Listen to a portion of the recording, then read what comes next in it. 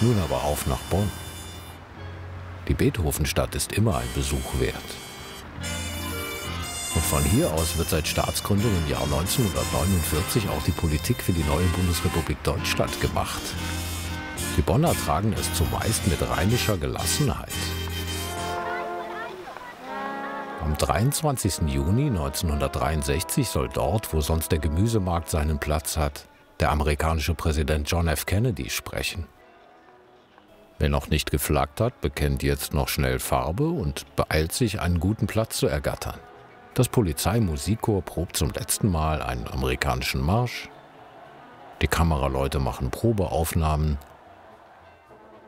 Alle sind gespannt. Als der Präsident gegen halb zwei Uhr mittags Bonner Stadtgebiet erreicht, stehen die Menschen sogar auf der Autobahn.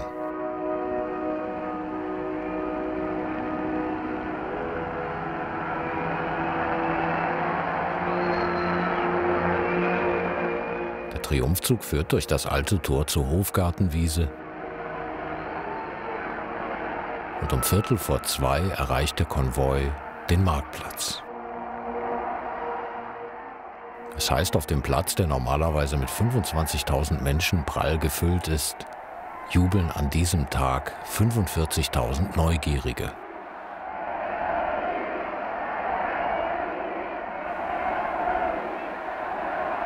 Kennedy besucht ein geteiltes Land.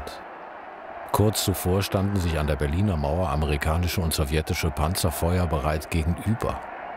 In jenen Tagen gibt es hier am Rhein ein geflügeltes Wort, dass der Russe im Kriegsfall in drei Tagen da wäre. Ladies and gentlemen, I am grateful for your welcome. This city of Bonn is the capital of the free world. Because of the efforts of the Chancellor and all of the German people, it will continue to be a center of the free world. I salute you.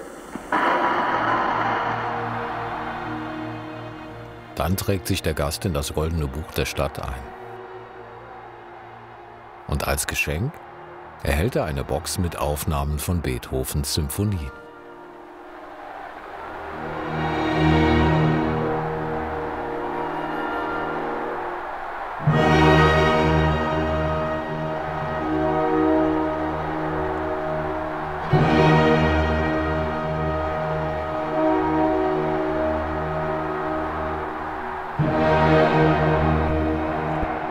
Neben ihm Konrad Adenauer, erster Bundeskanzler der Bundesrepublik Deutschland und nun 87 Jahre alt. Er hat den Rheinländern und nicht zuletzt den Deutschen den Weg in ein friedlich geeintes Europa geebnet. Doch inzwischen fremdeln viele mit dem sittenstrengen Alten. Sein Vermächtnis aber bleibt. Er hat dem Geltung verschafft, was die Menschen hier schon immer wussten. Den Rhein kann man nicht wirklich aufhalten. Das Rheinland war und ist die Wiege Europas.